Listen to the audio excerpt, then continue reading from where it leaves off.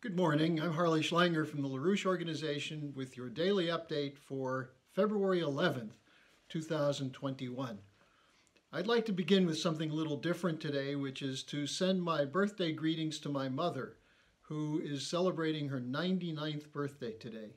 So happy birthday, Mom.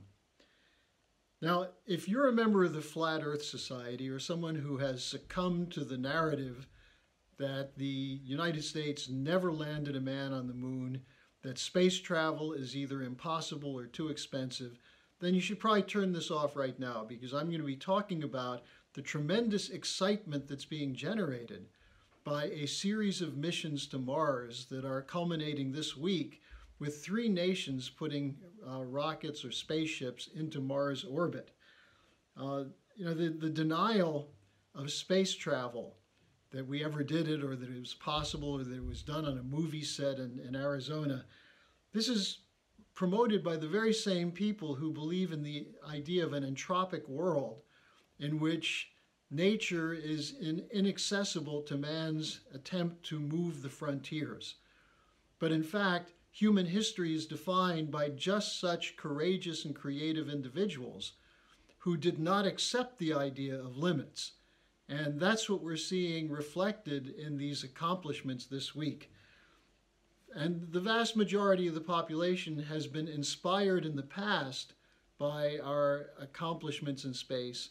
And we look to the future with great hope, not just for going out there to see what's out there, but for the possibility of setting up human colonies on other Earths, other uh, planets, other parts of our solar system, and beyond.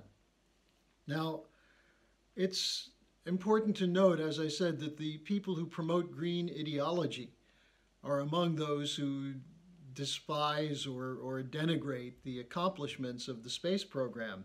But that's because they're unhappy people. People like Alexandria Ocasio-Cortez or Greta Thunberg, who are in fact proselytizing that we're about to see the end of the human race within this decade. So if, if you're part of that grouping, see you later. But otherwise, listen to what's going on. Uh, the, the United Arab Emirates HOPE mission entered Mars orbit earlier this week. They're going to be putting up the first weather satellite on Mars. Uh, they're going to map the weather on Mars for one Martian year, which will be very useful for future uh, visits to the so-called red planet.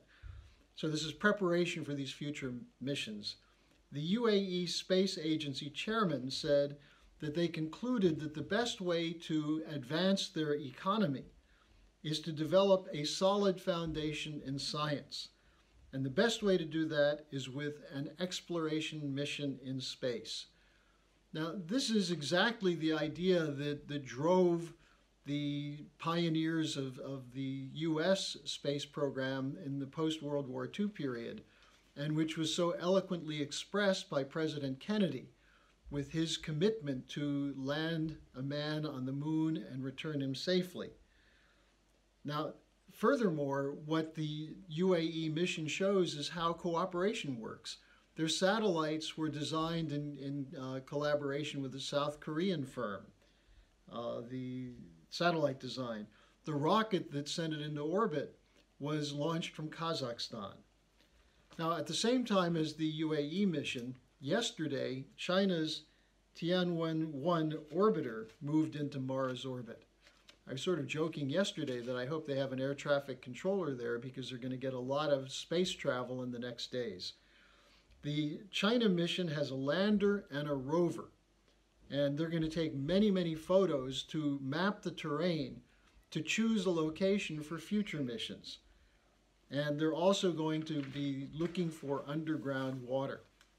Now, China also has a very aggressive moon mission where they have a, uh, a land, They've landed a rocket on the dark side of the moon. They're, they're doing various experimentation. And what they're intending is to mine the moon for helium-3 for use in fusion, nu nuclear fusion power generation on Earth. So this is also exciting. Now next week, on February 18th, exactly one week from today, NASA's Perseverance mission is set to land on Mars. This is part of an expanded program to make up for lost time. And really, we lost almost 20 something, 30 years in space because of the foolishness of scaling down after the successful missions to the moon. But under President Trump and his Artemis plan, NASA has undertaken a very bold mission to explore not only Mars, but to set up a manned uh, mission on the moon and intend to have the first man and woman landing on the moon by uh, 2024. So again, check this out. Look in your see if it's covered in the local news. We're going to keep covering this because this is exactly the kind of uh, science driver that Lyndon LaRouche identified as the fourth of his four laws as to what's necessary to reestablish a growing human economy on Earth. Now, also on Earth, we're following a couple of stories which aren't so thrilling and exciting. Yesterday, the Biden administration demonstrated its intent to protect war criminals.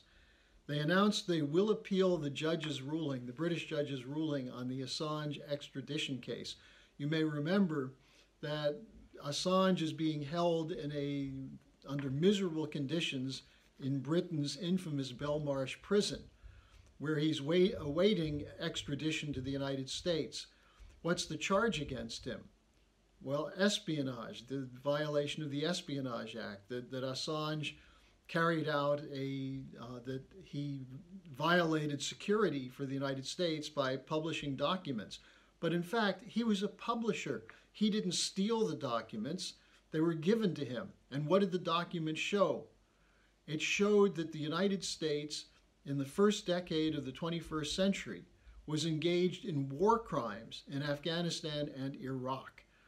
That Assange was the messenger of these war crimes, not the, a thief or someone who illegally stole them or violated security laws to get them.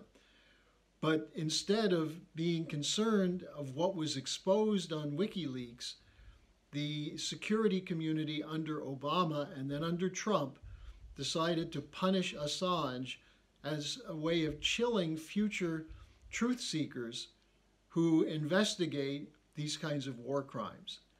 So this is a, an absolute atrocity. That, that there, there, had been some hope that uh, President Trump might pardon Assange. Unfortunately, for whatever reason, he did not do so. And now we see with Biden the decision has been made to pursue bringing him to the United States, where he faces 175 years in jail for what? For properly and honestly reporting, truthfully reporting what was being done by the administration, in this case the Obama administration, in conducting genocidal wars in Iraq and Afghanistan. So this is a, a, an atrocity coming from the Biden administration. Now, finally, it's, it's barely worth mentioning, but there is an impeachment trial underway in the Senate. And what we're seeing over and over are the scenes of the riot on January 6th. Uh, the, they're posting the Trump tweets, claiming that these tweets, where he said, fight for fair election, that this is somehow an incitement to riot. What's more important is that this is promoting polarization. It's vilifying President Trump, but it's also demonizing his supporters. And to say that someone who believes it's, it's legitimate to insist on fair elections if there is evidence that there might have been fraud, that that's not allowed. That it's been decided that it was a fair election, and therefore anyone who wishes to investigate it is a conspiracy theorist and possibly a violent terrorist.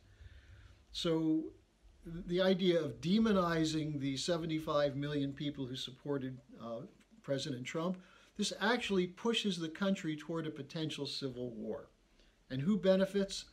The globalist establishment that worked so hard to get rid of Donald Trump because they're opposed to the idea of sovereign nation states, especially sovereign nation states that wish to cooperate peacefully with potential adversaries. That was the crime of President Trump, that he wanted to work with Russia and China to resolve global tensions and crises. So Let's celebrate today the accomplishments of the United Arab Emirates, of the Chinese, and the future accomplishments of the U.S. space program, and hope that we can get through this period so that we're able to reap the benefits of these far-sighted measures. Now, tomorrow's Friday. I'll be taking your questions. Send them to me at harleysch at gmail.com. Thanks, and I'll see you then.